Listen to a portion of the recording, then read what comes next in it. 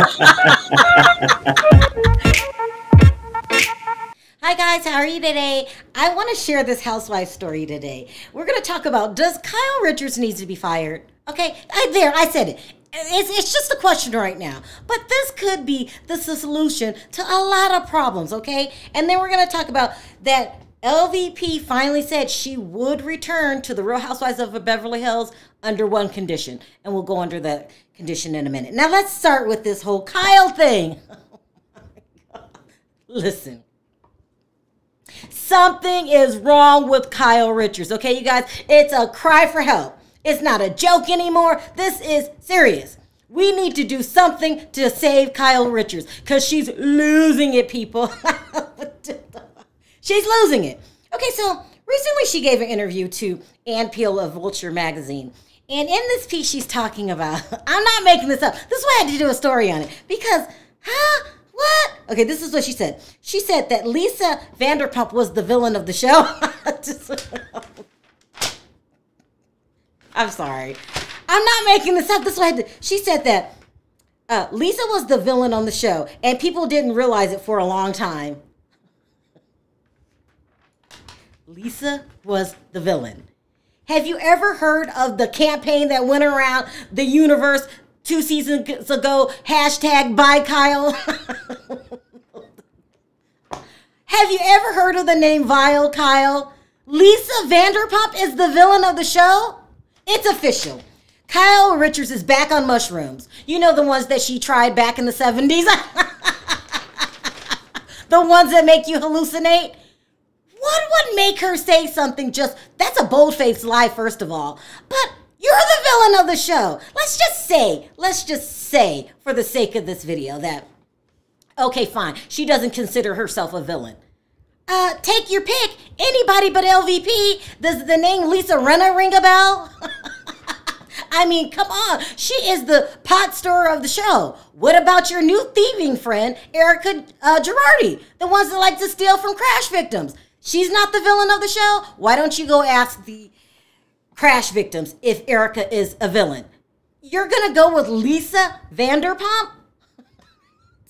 She's back on mushrooms. That's all I can think of. I mean, she's on she's under the influence of something that's making her hallucinate. Now I don't know what it is, but it's something. She is out of her mind. Then she goes on with the standard lie that she's been telling for years now. How she will repair her relationship with Lisa Vanderpump. You, what? You don't have that option.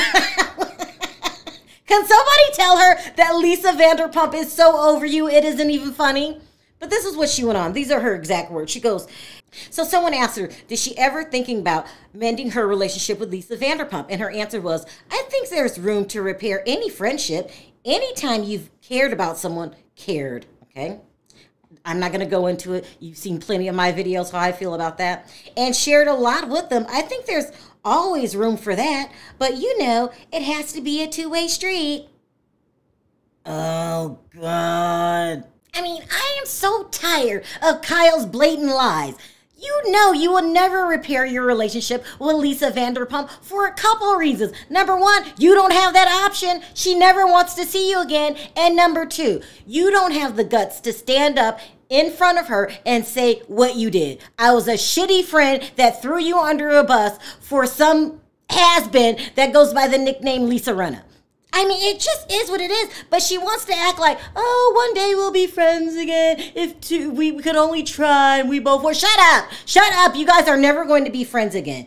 And I thought for the longest time Lisa Vanderpump will never return to the Real Housewives of Beverly Hills. But she gave an interview the other day in which she said she would return. And the condition that she would turn is if Kathy Hilton was a cast member well, we can make that happen. And if some of the uh, and some other casting changes, well, we can make that happen too. Think about it, guys. If Bravo just got rid of Kyle, now I'm not coming from anyone's jobs. This is just a suggestion. Okay, if Bravo got rid of Kyle, they would continue continue their pattern of getting rid of the highest paid on the show bye bye, Kyle. You know, you've been there a long time now. Uh, they got rid of NeNe. Isn't it about time to get rid of Kyle? They would uh, solve their money issues that they're allegedly having, these outrageous salaries that they're paying. So that would be good if you got rid of her. Also, Lisa Vanderpump would come back. it is what it is. Listen, they're going to have to get rid of Kyle eventually anyway. What these rumors are going around about how great Bravo loves Kathy Hilton, how they want her to be a full time housewife even before the season even airs. And now you have Vanderpump saying, Yeah, I'll come back if Kathy's on the show. They need to get rid of Kyle. First, Teddi. Thank you, Bravo, for taking at least a half a step in getting rid of Teddi. Well, go ahead and get rid of her other boring buddy, which would be Kyle then we could have a real show again. I just feel that it's time for T- Kyle to go. And I'm wondering why, how come no one's questioning Kyle being on the show that damn long. I mean, people were complaining. Nene has to go. Nene has to go. Oh, we're tired of Vicki, We're tired of Vicki. These OGs, we need to spruce it up. What about Kyle?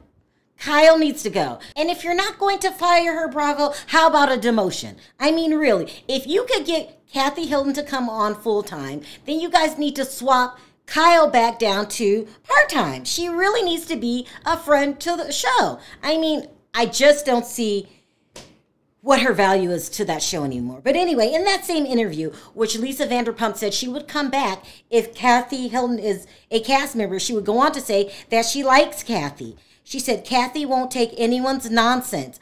I like it when anybody changes the dynamic in the group. You and everyone else, we need a change in the group and the change needs to be Kyle Richards getting that diamond out of her hand and coming on every so often, almost like a Camille type thing. That would really spruce up the show and break up the dynamic in that group of that group that Lisa Vanderpump is talking about. That Mean Girls Club. That's what I call them. A group of mean, mean girls. And I'm not talking about Sutton and I'm not talking about Garcelle. I'm talking about the other hags. I mean, really, firing Kyle Richards would seem like the logical thing to do. She doesn't bring much to the table. But at the end of the day, this is Andy Cohen's decision, and he does what he wants to do without any rhyme or reason. He goes around saying that he can't keep any of the OGs because they cost him too much money. But he keeps Teresa Giudice. And not only does he keep Teresa, he came out recently, and I believe it was yesterday, and said that the reason he didn't let her go when she went back to prison a couple years ago, I believe it was in 2014, she went to prison, is because she was an investment. what the hell was leaks? Andy Cohen does what he wants to do, and for some odd, strange, unknown reason, he wants to keep Kyle, who he thinks is valuable to the show. I don't know. Maybe he thinks Hilton will get mad at him or something. But for whatever reason, she he has kept her around way too long. She's the most boring, overpaid housewife there ever is. That doesn't mean I don't like you, Kyle. I'm just bringing facts to the top of the table. You know, you are boring. Is that bad? it is what it is. But anyway, I still think that uh, firing Kyle would be a huge help to Bravo. You guys let me know what you think about that down in the comment section. What do you guys think about uh, LVP saying that she would come back if Kathy Hilton was on was a cast member on the show and that they made a few cast changes? Do you think she would come back or is she just talking? Let me know your thoughts about everything I just talked about down in the comment section below. In the meantime, if you like this video, don't forget to click that like button. It does wonders for my video. If you haven't already subscribed and hit the notification bell, don't forget to do that. I'll meet you guys down in the comment section. Lots to talk about today. Bye for now.